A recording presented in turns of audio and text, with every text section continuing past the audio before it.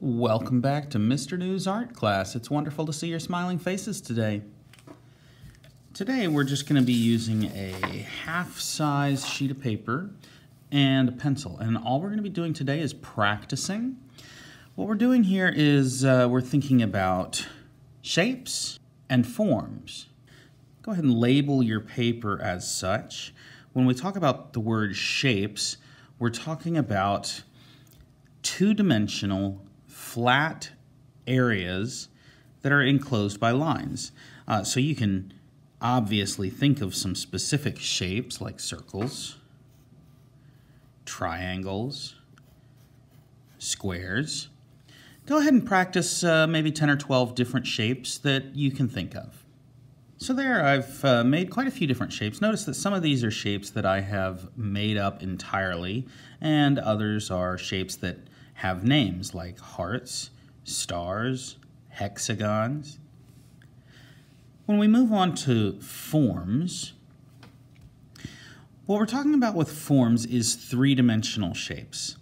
And we can put two-dimensional shapes together to create forms. But in order to do that, what we first want to do is uh, take a look at some actual three-dimensional objects and see how they're put together. So here I have a jar of paint, a bottle of paint, and um, it, it is a cylinder, which, as you know, has uh, the, the bottom of it is a circle, the top of it is a circle, but if we take a look at it straight on like this, then it looks like a circle. But what happens to that shape if we tilt it in perspective? Now, still just looking at this shape, along the bottom of the jar, it doesn't look like a circle anymore because I've tilted the bottle in perspective. Now it looks like an oval. So as we tilt objects in three dimensions, let's go ahead and make a cylinder. But even though cylinders are topped with a circle, we should use an oval to draw it. So we'll start with the top of the cylinder being an oval. And notice that the two sides just come straight down.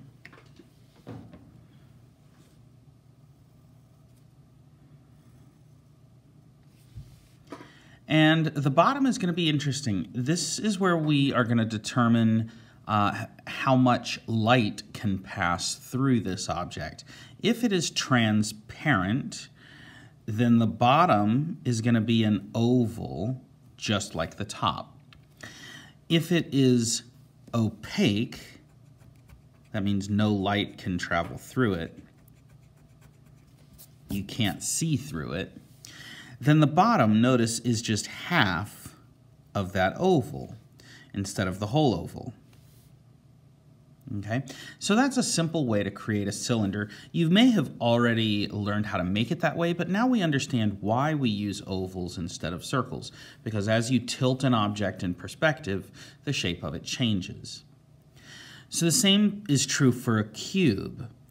You've probably done this before, go ahead and do it with me, where you draw a square, And then you make little diagonal lines coming out from the corners. And then you connect the edges to make a cube.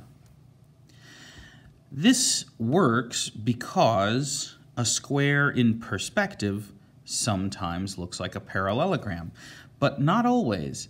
It depends on which way you turn it. Sometimes a square in perspective Follow on along this with me.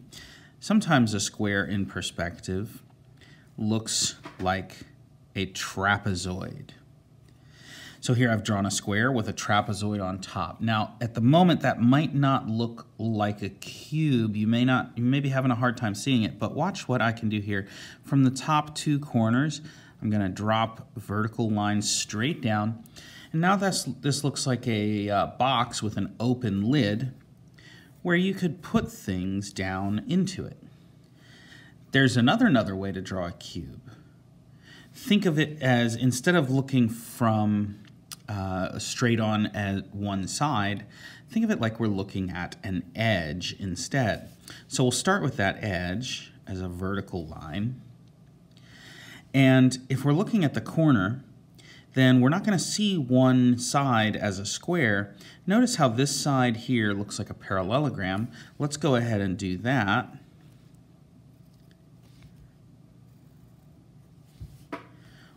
But make the other side also look like a parallelogram.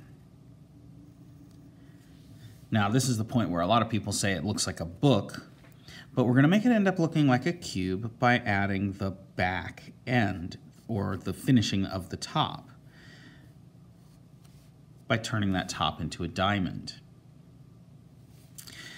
And so far, these uh, are just using lines and shapes to create a three-dimensional look, but it looks even more three-dimensional if we start adding shadows or shading. So instead of holding my pencil point down like this, I'm going to flip it sideways, where my pencil is sideways and I can rub sideways to shade. I'm gonna think about where the light's shining onto these objects. Maybe the light is uh, shining in from this direction. And so the top is gonna be very light. I'll shade it very lightly. Uh, this side, because it's close to the source of light, is still going to be pretty light. It's not going to be quite as light as the top though because the top is where it's getting most of the light. But then this side is going to be very dark. It's going to be in shadow. So I'm going to make that side much darker. And so we see here how shading can make a huge impact in the three-dimensional look and feel of an object. Now, today we're more focused on shapes and forms. Shading is a bit more advanced, which you can do if you uh, understand and if you want to, but for the most part today, we're focusing on forms, putting shapes together to create forms. Move over to your other side here with me, and we're going to practice creating an imaginary space using shapes and forms. So first, maybe we'll start with a trapezoid. Remember that a trapezoid is what a square or a rectangle looks like in perspective when you change the angle of it. Start with a nice long trapezoid. Along the bottom edge of that trapezoid, we want a really, really narrow rectangle. This just gives that trapezoid some thickness. You see how that kind of looks like a plank, like a wooden board of some kind? Well, we're going to make this into a tabletop. The way we're going to do that is make legs coming down from the corners. And those can be just simply tall, skinny rectangles okay? However high I've made that rectangle, I need to make the other one on this side the same height. So, there we go. Next, we also need to have legs coming down from the two bottom corners, and this is where we have to consider something called overlapping. Overlapping is when one object is covered up by a different object. So the leg of this table is going to be covered up by the table itself. I can measure how tall this leg is and then bring that measurement up to this corner. I also need to consider that because it's a little further away, it should be slightly smaller, not too much smaller, just a little bit. So again, I'm going to measure how tall that is, move that measurement here, and make it just a little bit smaller. And straight down from this corner is where that leg should be. Same thing for this one. It should be the same height here straight down from this corner There we go, we have a table. Now, what if I want to put a plate on that table? Should I make it a circle? What did we say a circle is in perspective? What does a circle look like when you look at it from an angle?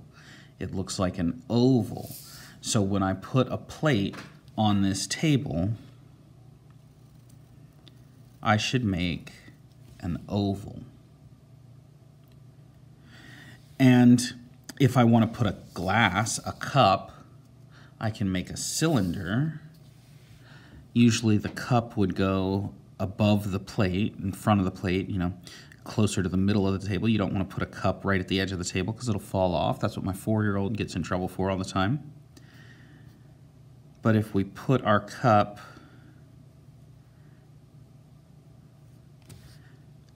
just past the plate there, that's perfect. And if there's a plate on the other side of the table, it's also going to be an oval. And it's going to be a little smaller because it's farther away. Not too much smaller because it's not miles away, just a little bit smaller because it's just a little bit farther away. And the cup for that person would be here. And there'd be maybe some overlapping. Maybe that cup would cover up the corner of the plate there. Now, if there's a plate on this side, here's what you don't do. You don't make the oval go the same direction as the side of the table. That's wrong. Eh, wrong. Don't do it that way. Instead, let me show you over here, you do it the same way these ovals are. They should be horizontal because that's the perspective we're looking from. If you were sitting on the other side of the table, it would look different, but we're looking from this side of the table, so it's going to be that kind of an oval. And part of that is going to be overlapped or covered up by the cup from the perspective we're looking at. And you could do the same over here, but I've messed that up already. Now, now that we've had some warm up or some practice with these thoughts, flip your paper to the other side and just practice, just play, just have some fun putting different shapes and forms together to create just an imaginary space. It does not have to look like anything real. Here we were trying to make a table. Maybe you just make a bunch of cubes and cylinders that overlap each other. Doesn't have to look real.